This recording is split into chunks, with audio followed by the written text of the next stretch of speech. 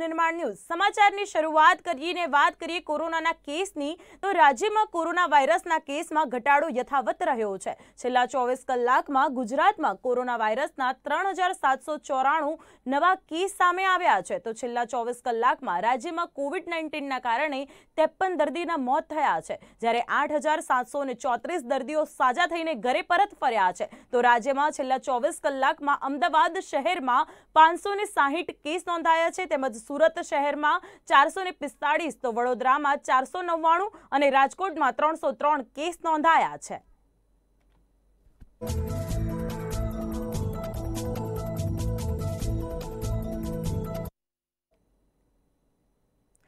રાજ્યમાં હાલ રસીકરણની ગતિ ધીમી પડી ગઈ છે. લોકો હાલ વેક્સિનેશન માટે વારો આવવા કાગડોળે રાહ જોઈ રહ્યા છે, પરંતુ વેક્સિન મળી નથી રહી. જેને પગલે મુખ્યમંત્રી વિજય રૂપાણીએ રાજ્યમાં દસ શહેરોમાં ચાલી રહેલી અઢારથી ચુમ્માલીસ વય જૂથના લોકોની રસીકરણ કામગીરીમાં રોજના ત્રીસ ડોઝ આપવામાં આવે છે. તે વધારીને ચોવીસ મેથી એક અઠવાડિયા સુધી રોજના એક લાખ ડોઝ આપવાનો નિર્ણય કર્યો છે. રાજ્યમાં અઢારથી ચુમ્માલીસની વય જૂથના યુવાઓનું રસીકરણ ઝડપથી અને વ્યાપકપણે થાય તેમજ વધુને વધુ યુવાઓને કોરોના સામેના આ અમોઘ શસ્ત્ર એવા રસીકરણનો લાભ આપી કોરોનાથી સુરક્ષિત રાખવાના ભાવ સાથે મુખ્યમંત્રીએ આરોગ્ય વિભાગને આ ડોઝ એક સપ્તાહ સુધી એક લાખ ડોઝનું રસીકરણ આપવા માટે સૂચવ્યું છે. આ નિર્ણયને પરિણામે એક અઠવાડિયામાં અંદાજે આઠ લાખ યુવાનોને કોરોના રસીકરણનો લાભ મળતા કોરોના સામે વધુને વધુ યુવાઓને રક્ષણ મળશે. સુરત મહાનગરપાલિકા દ્વારા સરકારશ્રીની ગાઈડલાઇન મુજબ સોળ જાન્યુઆરી બે હજાર એકવીસના રોજ વેક્સિનેશન શરૂ થયેલું. તે તબક્કાવાર પ્રોસેસ દરમિયાન હેલ્થકેર વર્કર ફ્રન્ટલાઇન વર્કર અને પછી જનરલ સિટીઝન્સ. તો છેલ્લા પહેલી મેથી આપણે ત્યાં અઢારથી ચુમ્માલીસ વર્ષના લોકોનું પણ રસીકરણનો આરંભ કરવામાં આવ્યો છે. હાલમાં સુરત શહેરમાં અત્યાર સુધી આઠ લાખ નેવું હજાર બે લોકોને ફર્સ્ટ ડોઝ આપવામાં આવ્યો છે વેક્સિનેશનનો. તથા બે લાખ એકાવન હજાર નવસો ચાળીસ લોકોને સેકન્ડ ડોઝ પણ આપી દેવામાં આવ્યો છે. એટલે ટોટલી જોવા જઈએ તો અગિયાર લાખ એકતાલીસ હજાર નવસો બેતાલીસ ડોઝ આપવામાં આવ્યા છે. કોવિશિલ્ડ રસી જેમણે લીધી હોય, એમને બીજો ડોઝની પ્રક્રિયા નવી ગાઈડલાઇન મુજબ, સરકારશ્રીની નવી ગાઈડલાઇન મુજબ ચોર્યાસી દિવસ પછી આપવામાં આવશે. એટલે ચોર્યાસી દિવસ પછી જ લોકો આવે એવી જાહેર જનતાને અપીલ છે. આ સાથે કોવેક્સિનમાં આ નિયમ લાગુ નથી પડતો. જેમણે કોવેક્સિન લીધી હોય તે આવનારા અડતા અઠ્ઠાવીસથી બેતાલીસ દિવસ દરમિયાન બીજો ડોઝ લઈ શકે છે.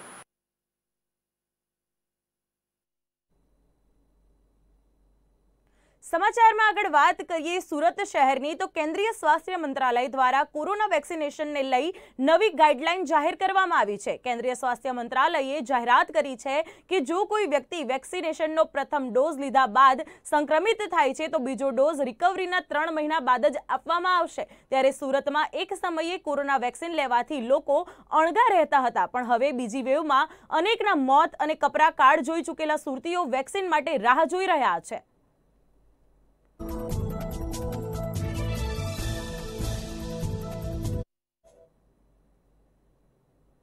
બીજી તરફ રાજ્યોમાં બારમા ધોરણની પરીક્ષા લેવાનો નિર્ણય રાજ્ય બોર્ડ દ્વારા છોડાયો છે. પણ રજા મંત્રી રાજનાથ સિંહની અધ્યક્ષતામાં મળેલી આ બેઠકમાં રાજ્યો અને કેન્દ્ર શાસિત પ્રદેશોના મંત્રીઓ, અધિકારીઓની ઉપરાંત કેન્દ્રીય શિક્ષણ મંત્રી, સેન્ટ્રલ બોર્ડ ઓફ સેકન્ડરી એજ્યુકેશનની ધોરણ બારની પરીક્ષા ટૂંક સમયમાં યોજવામાં આવી શકે છે. રવિવારે આ મુદ્દે ઉચ્ચ સ્તરીય બેઠક યોજાઈ હતી. તેમજ બેઠક બાદ કેન્દ્રીય શિક્ષણ મંત્રી રમેશ પોખરિયાલ નિશંકે માહિતી આપી હતી કે તમામ રાજ્યો રાજ્યો પાસેથી પચીસ સુધીમાં પ્રસ્તાવ મંગાવવામાં આવ્યા છે. સંરક્ષણ મંત્રી રાજનાથસિંહના વડપણ હેઠળ યોજાયેલી આ બેઠકમાં રાજ્યો તથા કેન્દ્ર શાસિત પ્રદેશોના મંત્રી, પ્રોફેસરો ઉપરાંત કેન્દ્રીય મંત્રી સ્મૃતિ ઈરાની તથા પ્રકાશ જાવડેકર પણ ભાગ લીધો હતો.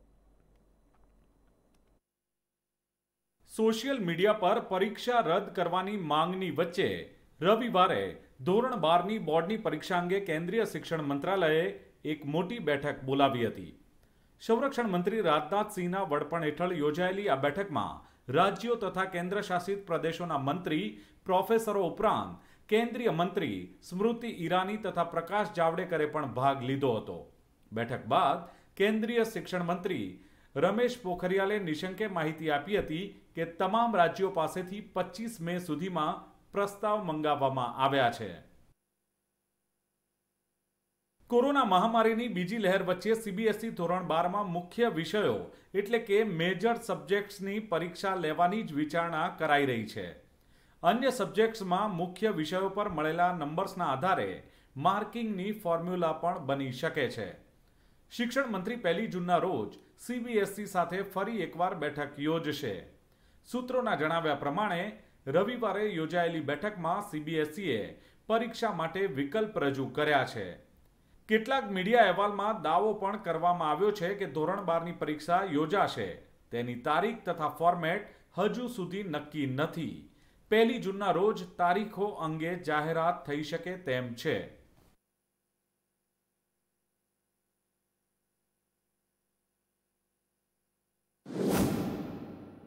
પરીક્ષાને લઈને સીબીએસઈ પાસે બે વિકલ્પ.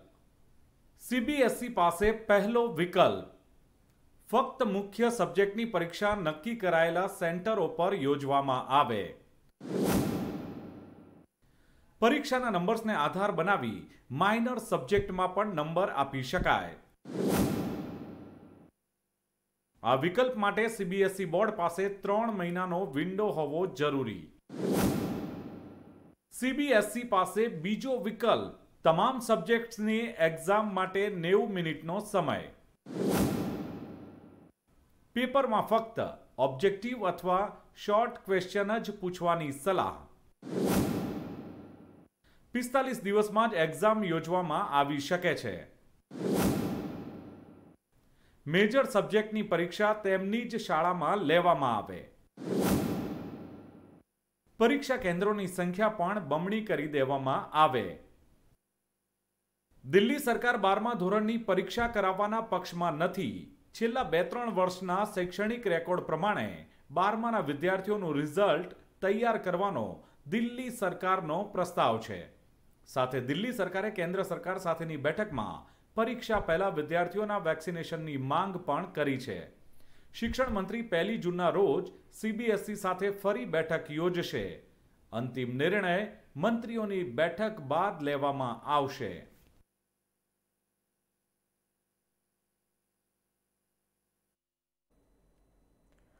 સમાચારમાં આગળ વાત કરીએ હવામાનની, તો વડાપ્રધાન નરેન્દ્ર મોદીએ તોફાન યાસનો સામનો કરવા માટે કરવામાં આવી રહેલી તૈયારીઓની સમીક્ષા કરી છે. પીએમ મોદીએ તેને લઈને નેશનલ ડિઝાસ્ટર મેનેજમેન્ટ ઓથોરિટીના અધિકારીઓ, telecom power, civil aviation, earth science મંત્રાલયોના સચિવો સાથે બેઠક કરી અને તૈયારીઓ પર ચર્ચા કરી છે. આ બેઠકમાં ગૃહમંત્રી અમિત શાહ પણ સામેલ થયા હતા.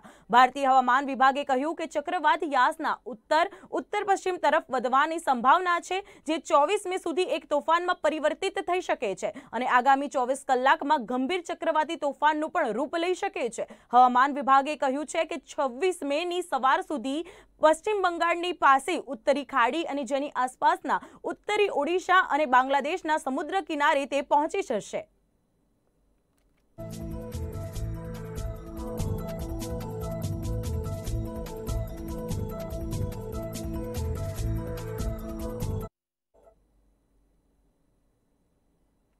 સુરત શહેરના ભાજપના કેટલાક કાર્યકર્તાઓએ પોતાની નારાજગી બતાવી હતી. ભાજપના કેટલાક કાર્યકરોએ વિરોધ સાથે રાજીનામું આપવાની તૈયારી બતાવી હતી. શહેરના છ વોર્ડ પ્રમુખો અને ચાર મહામંત્રીઓ રાજીનામા આપશે તેવું જાણવા મળી રહ્યું છે. ત્યારે ચૂંટણી સમયે પણ વરાછા અને સરથાણા વિસ્તારમાં કાર્યકરોએ વિરોધ નોંધાવ્યો હતો.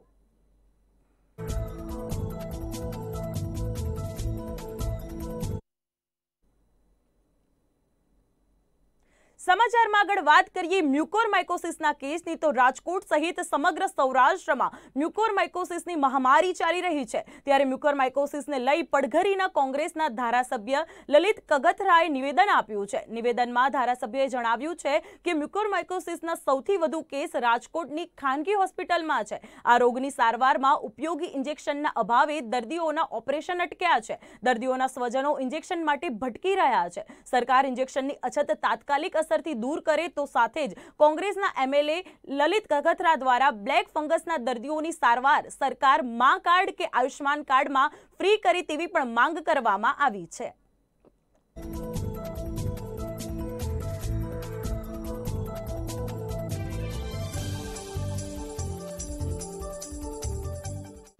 છેલ્લા ઘણા સમયથી, એટલે અઠવાડિયા દસ દિવસ ત્યાં સૌરાષ્ટ્રમાં કોરોનાની મહામારીમાંથી થોડી રાહત મળી છે. પણ ખબર નથી પડતી કે આ ગુજરાત ઉપર કઈ જાતની પનોતી બેઠી છે.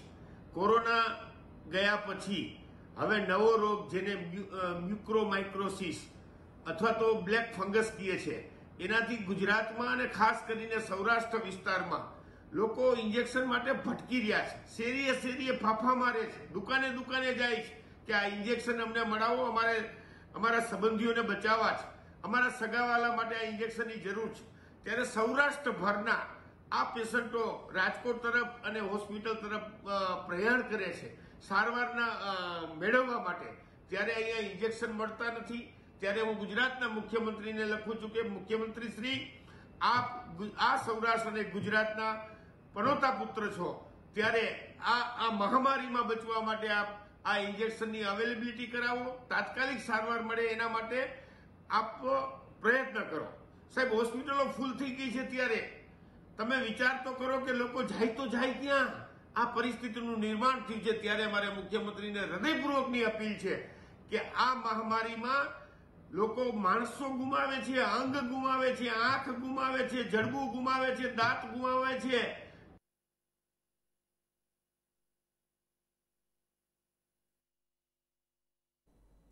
સુરતના કામરેજ વિધાનસભાના ધારાસભ્ય ઝાલાવાડિયા વિવાદમાં આવ્યા છે. સુરતના સરથાણા વિસ્તારમાં કામરેજના ધારાસભ્ય વીડી ઝાલાવાડિયાએ પણ કોવિડ સેન્ટર શરૂ કર્યું હતું. ધારાસભ્ય પોતાના કોવિડ સેન્ટરમાં દર્દીને ઇન્જેક્શન આપવા માટેની તૈયારી કરતા હોય તેવા વીડિયો હાલમાં સોશિયલ મીડિયા પર વાયરલ થતા વિવાદમાં આવ્યા છે. પાંચ ચોપડી ભણેલા આ ધારાસભ્ય ઇન્જેક્શન આપીને દર્દીના સ્વાસ્થ્ય સાથે ચેડા કરતા હોવાનું સામે આવતા લોકોમાં સોશિયલ મીડિયામાં રોષ ઠાલવી રહ્યા છે. ફોટા, વીડિયો વાયરલ થતા વિવાદ થતાની સાથે ધારાસભ્યએ સ્પષ્ટતા આપતા જણાવ્યું હતું કે તેઓ પોતાના વિસ્તારમાં કોવિડ સેન્ટર છેલ્લા ચાલીસ દિવસથી ચલાવે છે અને અત્યાર સુધી બસો લોકોને સારા કરી ચૂક્યા છે. જે વીડિયો સામે આવ્યો છે તેમાં તેઓ દર્દીને આપવા માટે રેમડેસિવિર ઇન્જેક્શન તૈયાર કરે છે, પરંતુ તેઓ દર્દીને આપતા નથી.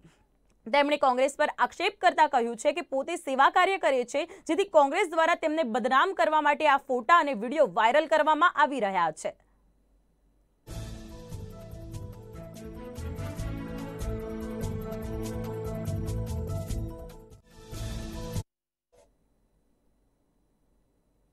સમાચારમાં આગળ વાત કરીએ, જામનગરની, તો જામનગર શહેરના બરગન ચોક વિસ્તારમાં આવેલી સિંધી માર્કેટના વેપારીઓ અને પોલીસ વચ્ચે ઘર્ષણ થતા વેપારીઓએ માર્કેટ બંધ કરી દીધું હતું અને વેપારીઓની માંગણી સંતોષાય તો જ માર્કેટ ફરીથી ખોલવામાં આવશે તેમ જણાવવામાં આવ્યું હતું. જામનગર શહેરના બરગન ચોક વિસ્તારમાં આવેલી સિંધે માર્કેટમાં આજે બપોરે પીએસઆઈ અને તેમના સ્ટાફ દ્વારા વેપારીઓ સાથે ઓરમાયું વર્તન કરતા વેપારીઓ અને પોલીસ વચ્ચે ઘર્ષણ થયું હતું, જેને કારણે વેપારીઓમાં રોષ ફેલાઈ જતા સિંધી માર્કેટ બંધ કરી દેવામાં આવ્યું હતું.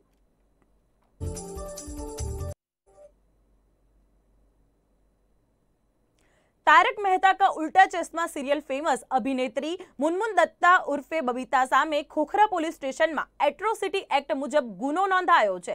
સોશિયલ મીડિયામાં મુનમુન દત્તાનો એક વીડિયો સામે આવ્યો હતો, જેમાં તેણે વાલ્મીકી સમાજની લાગણી દુભાય તેવા શબ્દનો પ્રયોગ કર્યો હતો, જેને લઈ દલિત સમાજ દ્વારા વિરોધ નોંધાવવામાં આવ્યો હતો, તેમજ અલગ અલગ પોલીસ સ્ટેશનમાં અરજી આપવામાં આવી હતી. ખોખરા પોલીસે અરજીની તપાસ બાદ મુનમુન દત્તા ઉર્ફે બબીતા સામે ગુનો નોંધી વધુ તપાસ હાથ ધરી છે.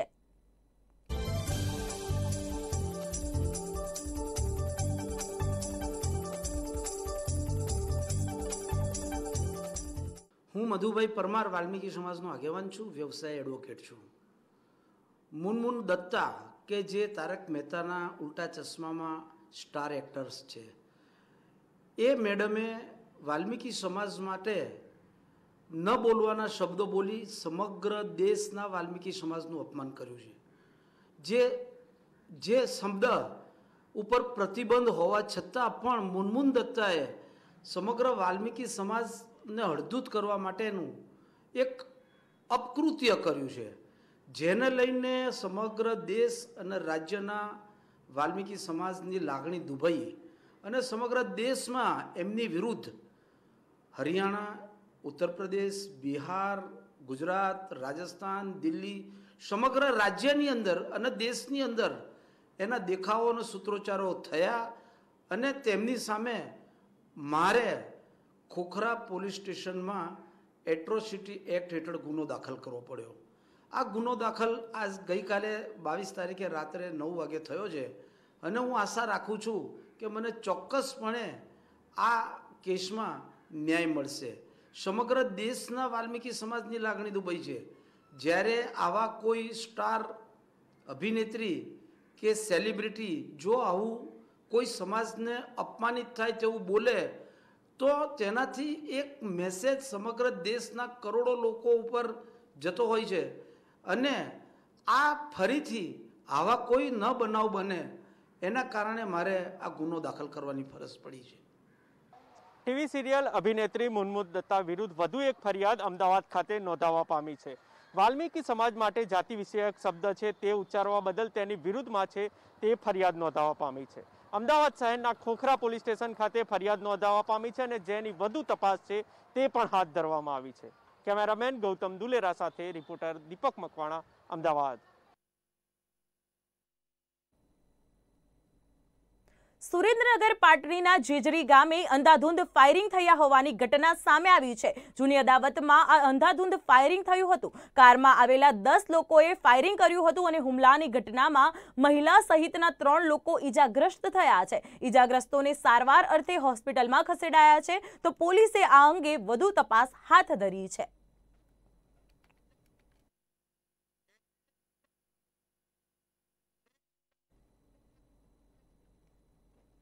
સમાચારમાં આગળ વાત કરીએ જામનગરની, તો જામનગરના ઠેબા ગામ પાસે એક યુવાનની હત્યા થયા હોવાનું સામે આવ્યું છે. ઠેબા ચોકડી પાસે રેતી મામલે આ યુવાનની હત્યા થઈ હોવાનું સામે આવ્યું છે. તો ઘટનાને પગલે પોલીસ ઘટના સ્થળે પહોંચી હતી અને રાજ્યમંત્રી ધર્મેન્દ્રસિંહ જાડેજા હોસ્પિટલ પહોંચ્યા અને પોલીસે સીસીટીવીના આધારે તપાસ હાથ ધરી છે.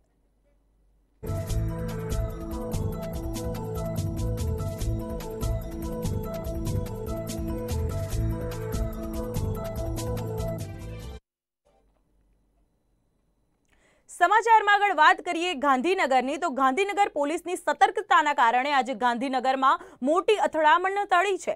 ગાંધીનગર ક્રાઇમ બ્રાન્ચ અને સેક્ટર સાત પોલીસ દ્વારા ધાડ પાડવા માટે આવેલા બસ્તી ખાન પઠાણની ગેંગને ધોકા છરી તલવાર, બેટ, ચાકુ, બરછી અને જેવા તાકતવર હથિયારો સાથે ઝડપી લેવામાં આવ્યા છે. ગઈકાલે બાતમી મળેલી કે કુખ્યાત બસ્તી ગેંગ જે બસ્તીખાન ખિલજી મિર્જાપર અમદાવાદના છે, એ લોકો અને ચાર, ચારથી આઠ જેટલી ગાડીઓ અને હથિયારો સાથે આવેલા છે અને દર્શનસિંહ ઉર્ફે ગોપી ચાવડાના ઘેરે જઈને લૂંટને ઢાળ દેવા ગંભીર ગુના કરવાના છે. કદાચ તેને મારી નાખવાની પણ કોશિશ કરે. આવી બાતમી મળતા એલસી, ગાંધીનગર જિલ્લાની એલસીબીની ટીમ તાત્કાલિક જઈને આ લોકોને પકડેલા અને એમાં ફિરદોસ ઇસ્માઇલ ઉર્ફે બસ્તીખાન ખિલજીના છોકરો ગૌતમ વિનોદ મકવાણા, ધર્મેશ પાટડિયા, અલ્પેશ કટપરા કમલ મનુભાઈ વસાવા તેમજ નિખિન કુમાર પટેલ કુડાસણ આ લોકોને સ્થળ ઉપર પકડેલા છે. એ ચાર ગાડીઓ છે ફોર વ્હીલ ગાડી. અ, છરા નંગ બે છે તલવારનંગ ચાર છે ફરસીનંગ બે છે ધારિયાનંગ બે છે બેઝબોલા ધોકાનંગ બે છે બેટનંગ ત્રણ છે અને મોબાઈલ અને રોકડા રૂપિયા સાથે આ છ આરોપીઓને સ્થળ ઉપરથી જ પકડીને લૂંટધાટના અને મારામારીનો ગંભીર ગુનો બનતા અટકાવેલ છે. કુખ્યાત ગેંગ છે અને મારામારી ધાડ લૂંટ કરવાની ટેવ ટેવવાળા છે. અનેક ગુનાઓ એના ઉપર નોંધાયેલા છે. આ ગુનો બનતો ગાંધીનગર જિલ્લા પોલીસ એલસીબીએ ગુનો બનતો અટકાવેલ છે અને આગળની તપાસ ચાલુ છે.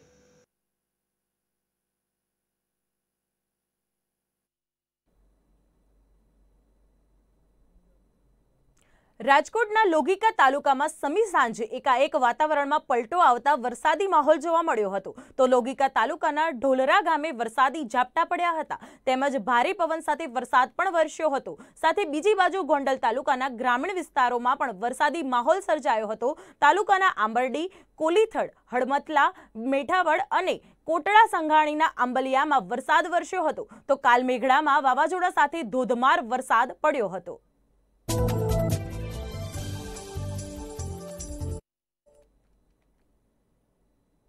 ગીર સોમનાથ જિલ્લાના ઉના તાલુકાના અમોદરા અને અંજાર ગામમાં વાવાઝોડાએ તાંડવ મચાવ્યો હતો.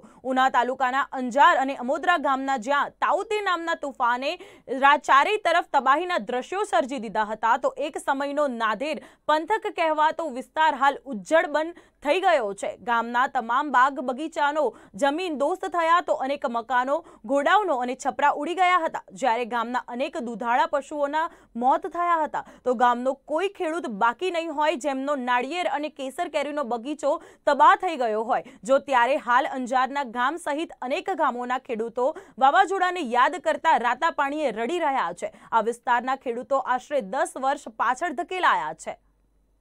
માલ ઢોર તો કોઈ હવે એની કોઈ આક જ નથી. હજાર, પંદરસો માલ ઢોર મરી ગયા, કોઈના કડું ભાંગી ગઈ, કોઈની ઓલી થઈ ગઈ, કોઈ સારવાર કરે, એવા બધા રોજી રોટી એની ઉપર જ હતી, પશુ ઉપર, અમારા બગાયત ઉપર હતી, બધાને બગાયત નહીં પૂરું થઈ ગયું, કોઈ એક આધી કોઈ નારિયેળી ઉભેલી નથી, કોઈ ઊભી પણ એનું નાશ જ છે એ અઠવાડિયા મહિના દિવસમાં ચૂકાઈ જાય, એનો કોઈ બગીચા તો કોઈ સફાઈ ને આ વર્ષે વાવણી થાય એમ નથી. સો મહિના વર્ષ દિવસ સુધી તો અમારે સફાઈ. આ સરકારીમાં તંત્રને જાણ લઈને ઓલું કરે તો અમને આમાં ઊભા થશો નહીં પચીસ વર્ષ પાછળ છે ને રોડ ઉપર છે, બધા મજૂરી કરવાની છે ને કોઈ આવા ઉદ્યોગ આવતા હોય, સરકાર ધ્યાન દે, બે ચાર ઉદ્યોગ નાના નાના આવે તો બધાની રોજે રોટી જાય. ને આ દરિયાપટ્ટીના પાંત્રીસથી ચાલીસ ગામની માનહાનિ તો બહુ થઈ. બરોબર? એનું તો કોઈ આંકડા જ નથી કેટલા કયા કયા ગામમાં માણસ મેર્યા. માણસો બહુ મેર્યા અત્યારે હોસ્પિટલમાં કોઈની કેડ ભાંગી ગઈ કોઈને હાથ પગ ભાંગી જાય તો હોસ્પિટલમાં એની સારવાર લઈ. કોઈ બીકના મારે હાર્ટ એટેકથી મરી ગયા, કોઈ જોઈ શકતા નથી, વાડીએ જઈ શકતા નથી. કારણ કે એ પરિસ્થિતિની વાત અમે કરી શકતા નથી. અમારા ઘરની અંદર બાજરો હતો તે બાજરામાં ગોઠને ગોઠને પાણી. એવડી સ્થિતિમાં ગોઠને ગોઠને પાણી. નળિયા બધા ઉડી જા ને અમે બેઠીને મરવામાં ને કંઈ ખામી નહીં. એવી રીતથી અમે બેઠા. આખી રાત આખી રાત રડી બેઠીને છોકરાઓને પાખુમાં લઈને એવી રીતે અમે રાત કાઢીમાં કાંઈ ઘટે નહીં. પવનમાં એટલે ત્રીજા ત્રીજા માળવેથી નળિયા અમારા ઘર ઉપર આવી આવીને બધું ફળી તો. નુકસાન ખૂબ નહીં ભાઈ માટાણી ક્યાં કહેવાનું રહ્યું? બાજરો પાણીમાંથી કાઢી કાઢીને ફળિયામાં રહ્યો બે ખાંડી એરડી એ ફળિયામાં રોવી. ખાવા પીવાનું કંઈ રહ્યું નહીં. અઢી હજારના મેરસા આણીને ડબ્બો ભીર્યો હતો તો એ પણ ભરાઈને ઠોલવાનું સોન તો કઈ ગણતરી કરાય એવું છે નહીં. હજાર પંદરસોની ઉપર એ ગણી શકાય ને અત્યાર સુધીમાં આવું કોઈ દિવસ જોયું નહોતું. અત્યારે માનો કે સારા પૂરો એવું બધું હાંસવાની જગ્યાએ નથી રહી. મકાનો પણ અત્યારે ઘણા ખરા પડી ગયા છે. અત્યારે પરિસ્થિતિ બહુ હાવ હલ નબળી થઈ ગઈ છે અત્યારે. જો એ મારી પાસે કંઈ નહીં તો વીસથી પછી માલઢોર હતા. એમાંથી આઠ દસ તો હાવ નાને ન્યા મરી ગયા અત્યાર સુધીમાં. હવે એને અત્યારે અમારે એવી પરિસ્થિતિ છે જો કે અત્યારે એની ઉપર નિર્ધાર હતો અમારો. દૂધ વેચીને બધું ગુજરાન ચલાવતા. હવે તો જેવું સરકાર ઉપર આધાર છે અત્યારે તો.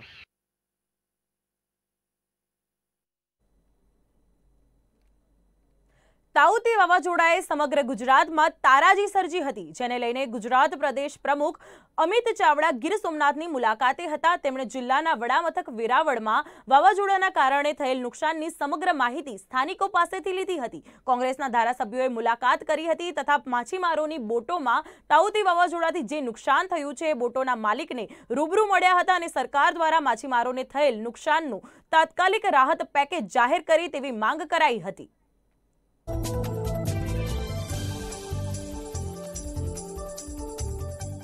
આ સાયક્લોનની નુકસાનીના અસરગ્રસ્ત વિસ્તારોની મુલાકાત અંતર્ગત આજે વેરાવળના બંદરની મુલાકાત લીધી છે. માછીમારના પ્રતિનિધિઓ, એમના આગેવાનો અને જે અસરગ્રસ્ત કુટુંબો છે એમને પણ મળ્યા છે. આજે દુઃખ સાથે કહેવું પડે કે ઓગણીસો પંચ્યાસી પછી આ બંદરને વિકસાવવા માટે સરકાર દ્વારા ઉદાસીન વલણ દાખવવામાં આવ્યું છે. નથી ડ્રેજિંગ થતું, નથી ફેઝ ટુનું કામ થતું. અને આજે જે બંદરની કેપેસિટી સાતસો, આઠસો બોટની છે, એ બંદર પર લગભગ ચાર હજાર કરતાં વધારે બોટો લાંગરવી પડે છે. આજે આપ સૌ જોઈ શકો છો પાછળ કે જ્યાં આગળ આ નુકસાનીનું બોટ કે જે તણાઈને આવી છે, અને એક જ આ પરિવારના ત્રણ જેટલી બોટો આજે નષ્ટ થઈ ગઈ છે, ડૂબી ગઈ છે. પરિવારનું જે આવકનું મુખ્ય સાધન હતું એ બરબાદ થઈ ગયું છે. અને દુઃખ સાથે કહેવું પડે કે આજે છ દિવસ થયા. હજુ સુધી આ બોટોનું નુકસાનીનું સર્વે કરવા માટે કે પરિવારને મદદ કરવા માટે હજુ કોઈ આવ્યું નથી. મારી માન્ય મુખ્યમંત્રીશ્રીને ફિશરીઝ ડિપાર્ટમેન્ટને વિનંતી છે કે આ બોટોનું જે નુકસાન થયું છે એનું પૂરતું વળતર મળે. એ પરિવારોની આજીવિકા છીનવાઈ ગઈ છે તો તાત્કાલિક એની આજીવિકા માટેના રકમની જોગવાઈ થાય. અને સાથે સાથે બંદર પર જે લોકોએ રજૂઆત કરી છે કે લાંબા સમયથી ડ્રેજિંગ નથી થયું, મોટા પ્રમાણમાં બોટોની સંખ્યા છે, એના પ્રમાણમાં ફેઝ ટુ જેટીનું કામ નથી થયું અને એ બધી સમસ્યાઓ આર્થિક રીતે પાયમાલીનો માહોલ છે. એક બાજુ કોરોના મહામારી, બીજી બાજુ સાયક્લોનની અસર. છેલ્લા એક દોઢ વર્ષથી ધંધા વેપાર એમના બંધ છે. ત્યારે તાત્કાલિક આ પ્રતિનિધિઓ સાથે ચર્ચા કરી અને આર્થિક રીતે એમને મદદ કઈ રીતે થાય બેન્કોમાંથી વગર વ્યાજનું ધિરાણ કઈ રીતે થાય અને એમને આ ધંધા વેપાર સારી રીતે ચાલી શકે એ માટેની વ્યવસ્થાઓ કરવામાં આવે.